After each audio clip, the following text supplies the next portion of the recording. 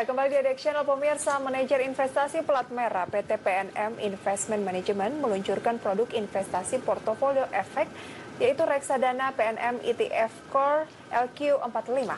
Ya, perusahaan menargetkan dana kelolaan mencapai 200 miliar rupiah.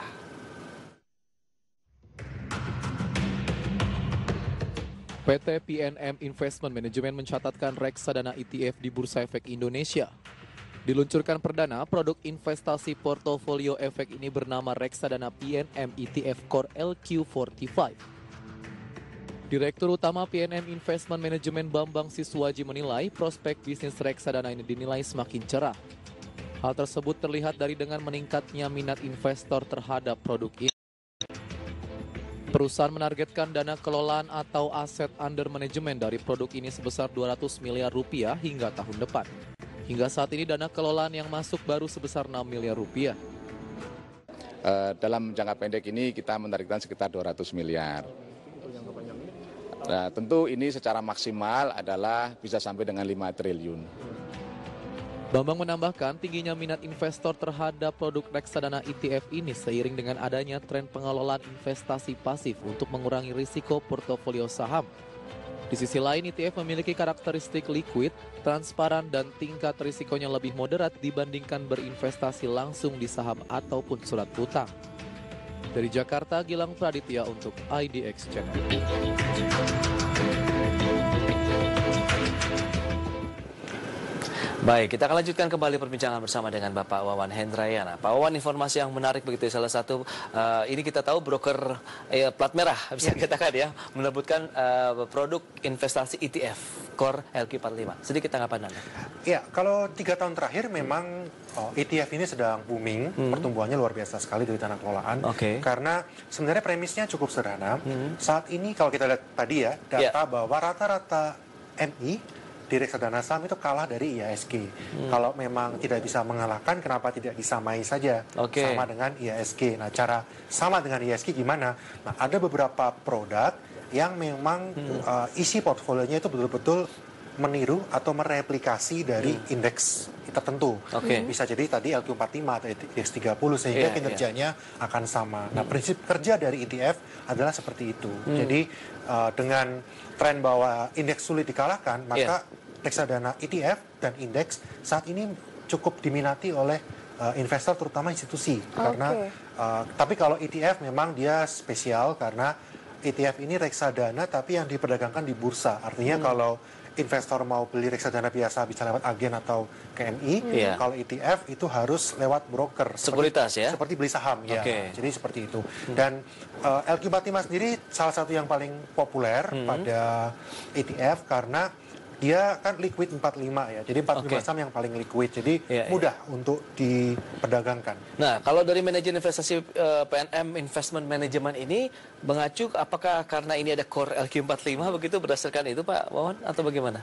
Iya, ya tentu saja tadi karena memang hmm. cukup populer hmm. LQ45 sudah cukup familiar investor. Hmm. Yeah. Lebih mudah untuk dipasarkan sebenarnya. Okay. Dan nomor dua, ya ETF ini sekarang uh, secara tren sedang naik karena banyak investor yang tidak bisa atau kalah dengan indeks ya sudah samain saja dengan indeks. Jadi saya yakin uh, ya strateginya PNM dengan Core LQ45 ini uh, saya rasa cukup baik ya, tinggal Tapi, menunggu saja. Sebenarnya uh, strategi seperti itu apakah peracikan um, iya. apa reksadana saham hmm. dari para MI ini sudah sudah ya agak ribet sehingga harus mengambil indeks yang memang sudah ada harusnya kan bisa melampaui gitu ya tapi yeah. karena ini takut takut tidak melampaui bahkan takut tidak bahkan tidak sama akhirnya diambil saja supaya sama gitu paham maksud saya kan yeah.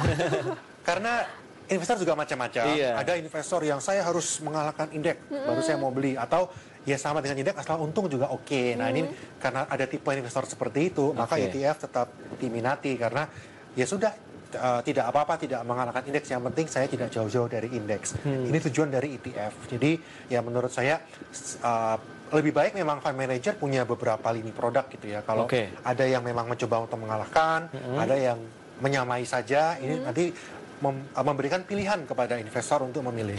Baik, sering kali kan kita mendengar memang empat uh, reksadana saja begitu yang sering dibicarakan. Bagaimana dengan ETF? Apakah prosedurnya, mekanismenya berbeda? Tadi kan kita sudah beli memang lewat sekuritas, tapi adakah uh, dana investasinya juga yang ditentukan, Pak Wan?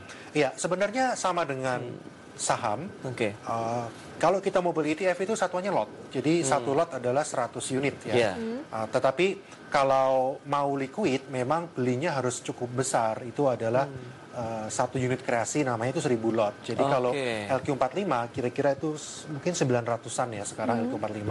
Jadi satu unit kreasi itu kira-kira 90 juta kalau Oke. mau Oke. liquid. Liquid ini artinya bisa beli dan jual kapan saja. Kalau uh, perbedaan dari resiko dengan jenis uh, reksadana yang lain seperti apa, Pak? Ya, untuk resiko lebih kepada resiko likuiditas sebenarnya kalau kalau ETF, terutama kalau belinya di bawah 1000 lot. Kalau, Oke. uh, kalau resiko naik turun ya akan mirip dengan indeks acuannya. Uh, lebih kepada tadi kalau memang di bawah 1000 lot kadang-kadang kalau mau dijual belum tentu ada yang mau beli karena ini kan seperti saham. Jadi mirip sekali dengan saham jadinya. Nah, bagaimana dengan investornya kalau misalnya ada katakan lebih mencapai bahkan ribuan lot begitu Pak Wawan? Ya untuk lebih, biar lebih terasa untungnya begitu kan? Iya, makanya saat ini untuk ETF ini kebanyakan institusi yang bermain di Oh, situ. Retail ada tapi mungkin relatif sedikit. Saya rasa 90% is- anggap- Institusi. investor sih adalah institusi. Berarti Oh. memang ETF lebih cocok untuk institusi. Saat ini yang lebih berminat institusi. Sebenarnya kalau cocok ya retail cocok. Sebenarnya cocok-cocok aja ya. Iya.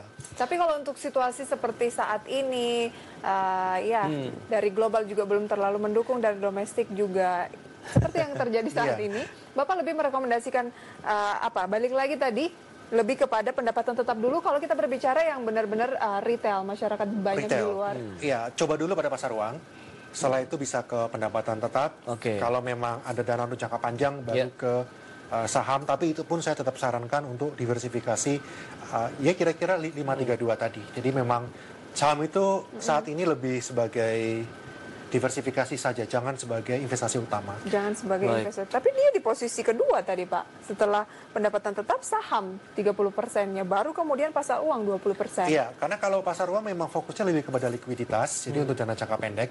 Sebenarnya ya kalau terjadi misalnya ada koreksi pada saham yang cukup dalam, Iya. bisa di switching dari uh, pasar uang menuju ke saham. Oke. Baik, perkembangan sampai dengan akhir tahun dengan kondisi market yang fluktuatif seperti ini, nampaknya reksadana bisa menjadi pilihan investasi begitu ya. Dan semoga ini akan terus meningkatkan juga dari sisi dana kelolaan, kemudian dari eh, return-return yang didapatkan juga akan semakin membaik Dan begitu ya Pak. investor ya. Yes, Pak Wan, sayang sekali waktunya terbatas. Terima kasih banyak atas kehadirannya Pak Wan. Sukses untuk Anda Pak. Sampai berjumpa kembali. Selamat sore. Ya, pemirsa demikian perbincangan kami bersama dengan Bapak Wawan Hendriana, Head of Investment Research dari Infovesta. Iya, dan ke- kita akan kembali untuk membahas nanti pergerakan indeks harga saham Iya. gabungan meski turun, Pras. Betul. Ada sejumlah emiten yang mengalami penguatan lebih dari 20 persen. Itu dia, kita akan bahas nanti di segmen selanjutnya. Kami segera kembali sesaat lagi. Wawan, terima kasih banyak.